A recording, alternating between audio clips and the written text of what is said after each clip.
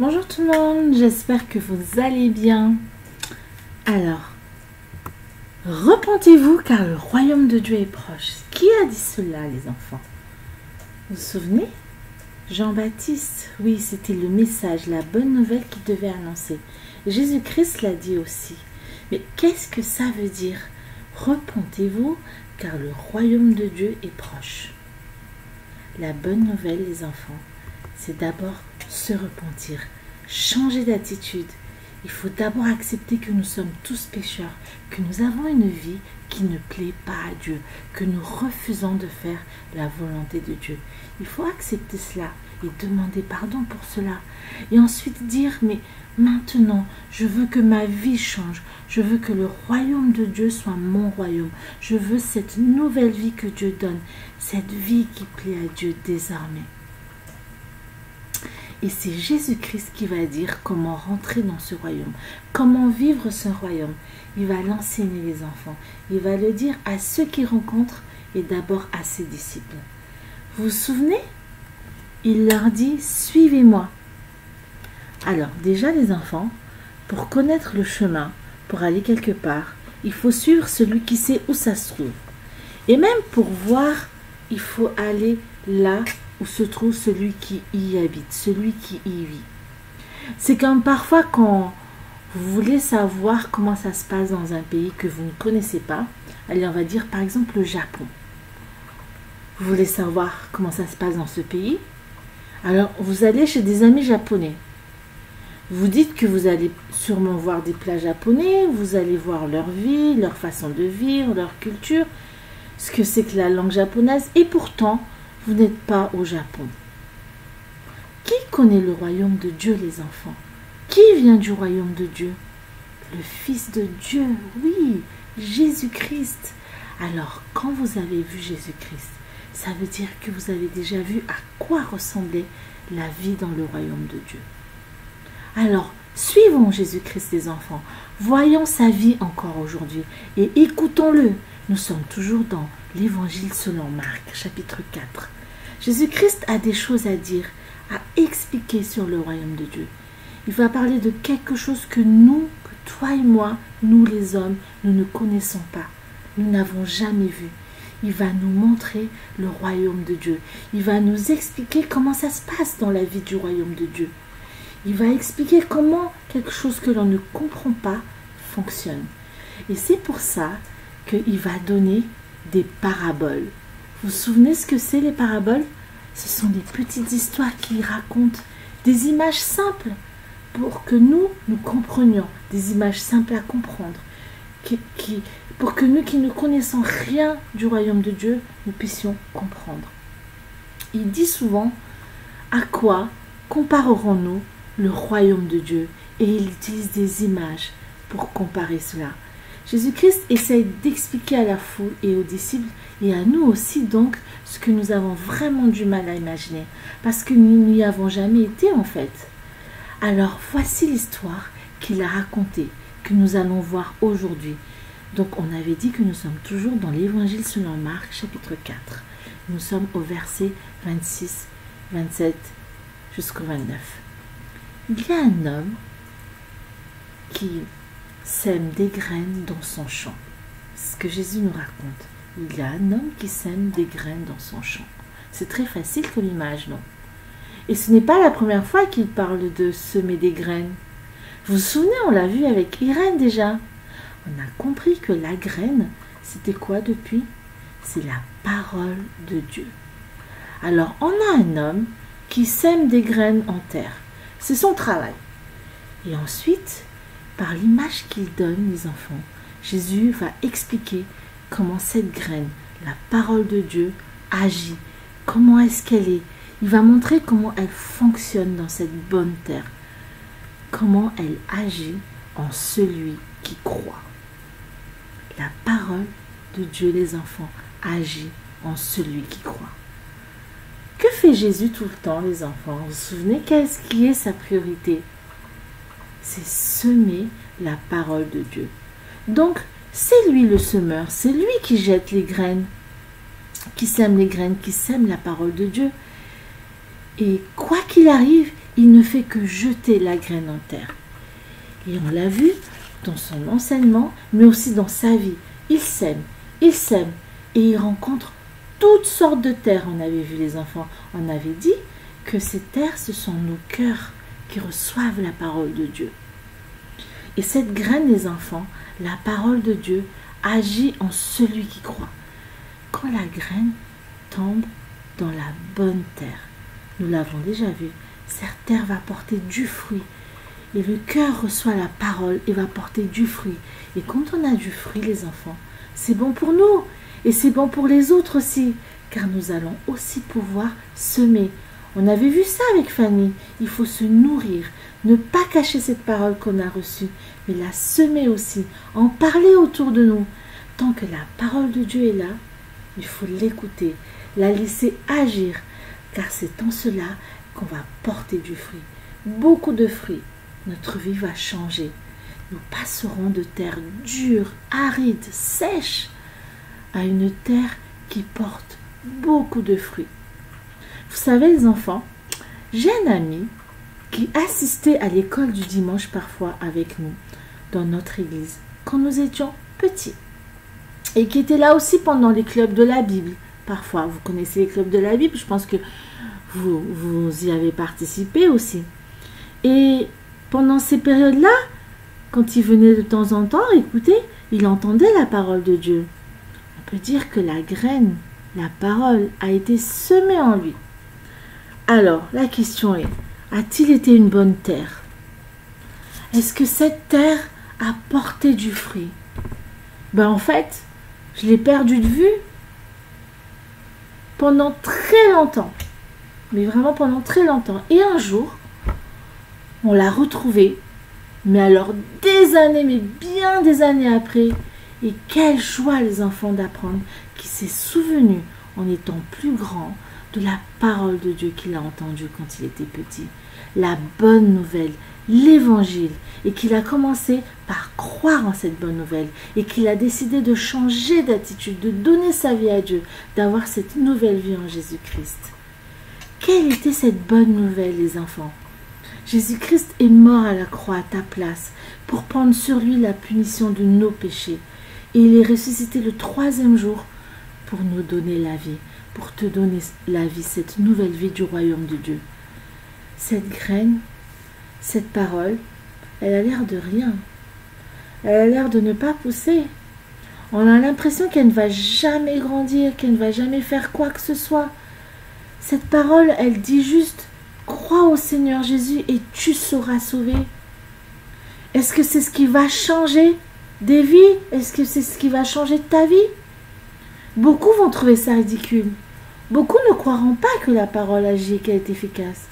Et pourtant, cette parole a changé la vie de cet ami qui a commencé à croire. Elle a changé des vies, elle a changé ma vie aussi. Et elle peut changer ta vie. Des vies ont été vraiment changées, transformées en croyant en cette parole. La vie de cet ami aussi. Il n'est plus le même que j'ai connu quand il était petit. Mais comment ça marche? Alors, Jésus nous dit, l'homme va dormir durant la nuit. Il se lève chaque jour.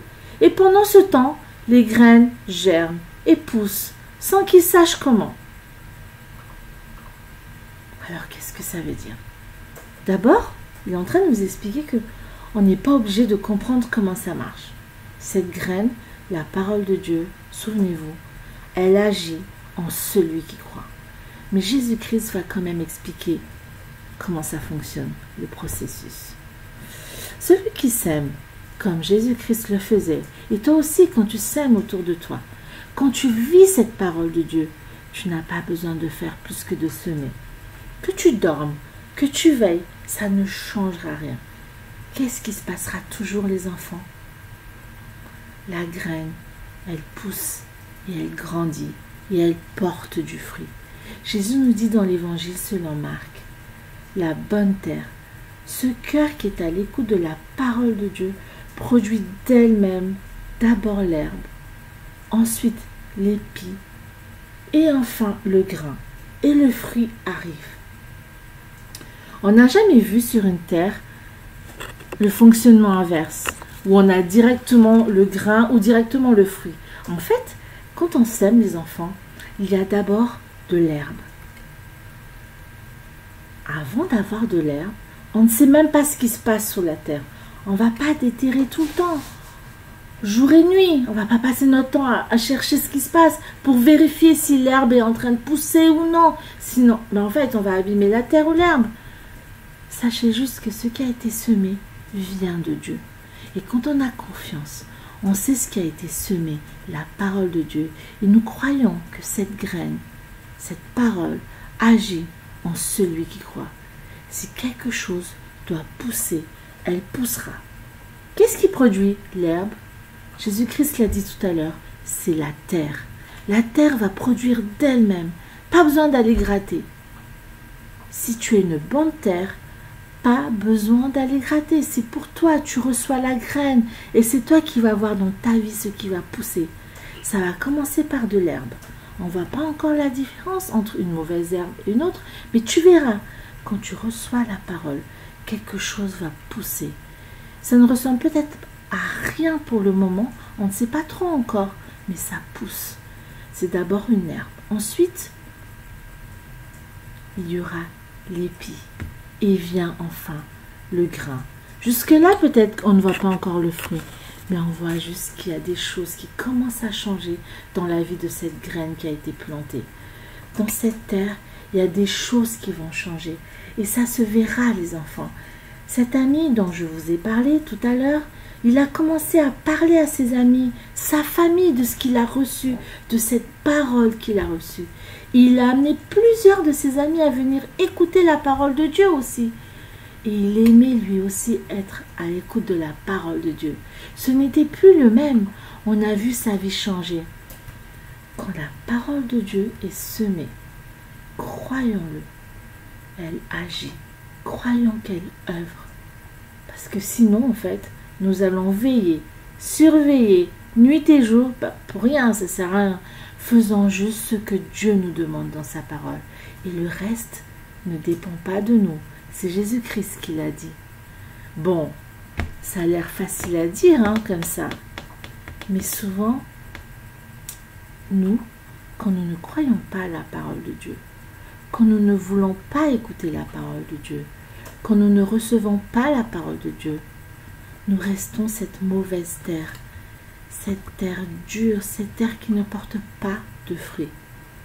La parole de Dieu est là et nous pouvons la lire, nous pouvons l'écouter, la consulter, la mettre en pratique, mais en fait nous disons Oh, j'ai autre chose à faire, j'ai pas le temps.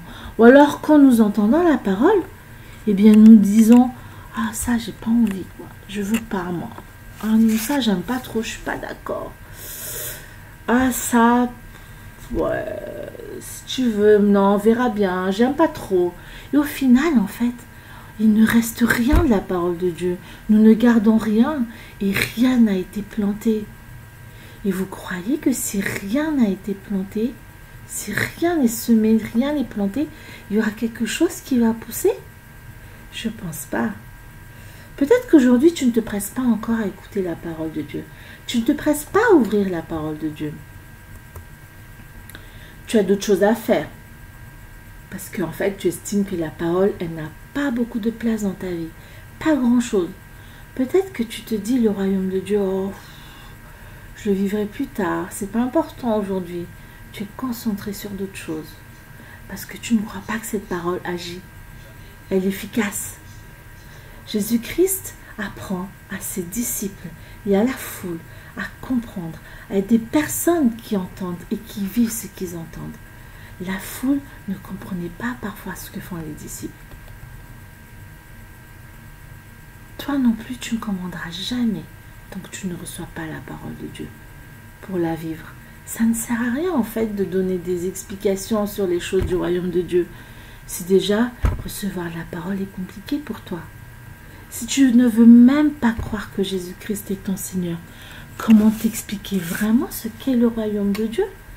Si toi-même tu n'as pas envie d'y vivre, de suivre le Seigneur Jésus? Les enfants, la parole de Dieu agit en celui qui croit. Et des vies sont passées des ténèbres à la lumière parce qu'ils ont cru, parce qu'ils ont écouté et ils ont cru. Ils ont eu des victoires dans leur vie, ils ont eu la force de changer d'attitude. Toi aussi, tu peux vivre cette vie du royaume de Dieu, cette nouvelle vie qui plaît à Dieu. Écoute et fais confiance en cette parole de Dieu. Notre verset d'aujourd'hui nous dit, et pendant ce temps, les graines germent et poussent sans qu'ils sachent comment. Cette parole, les enfants, elle agit en celui qui croit. Elle germe et elle pousse sans que tu saches comment. Alors, on va prendre un chant. Je vais juste répéter le verset ensemble avec vous une dernière fois avant de prendre ce chant. Et pendant ce temps, les graines germent et poussent sans qu'ils sachent comment. C'est dans Marc chapitre 4, verset 27, la dernière partie du verset. Alors, on va prendre un chant. Il y a les paroles, vous inquiétez pas. Et je vous laisse chanter de chez vous.